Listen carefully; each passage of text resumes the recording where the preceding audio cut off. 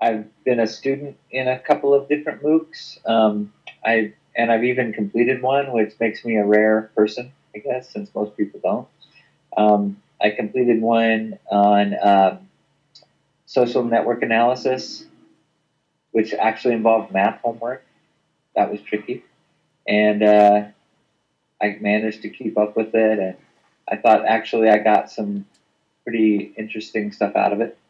Um, and then I did one uh, last summer. I did. I was both a student and kind of a participant observer, really, in the writing MOOC that Jeff and uh, Julie did.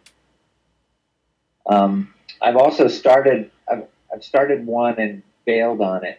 Um, I can't even remember what it was. I, it wasn't. You could tell like that. That's maybe just peeked my head in the door and was like, "Yeah, I don't think I have time for this." That was right at the beginning of the whole Coursera um, so that's my sort of student experience. And then, uh, as I mentioned, I helped Jeff and Julie both plan and kind of do some of the um, logistics around the writing MOOC that they offered at Michigan State last year.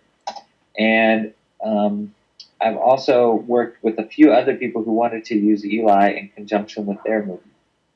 So I, I guess I've served as a technical advisor maybe to people who want to have a peer learning component and felt like whatever platforms they had weren't sufficient, so they were turning to us to provide maybe something that they didn't have somewhere else.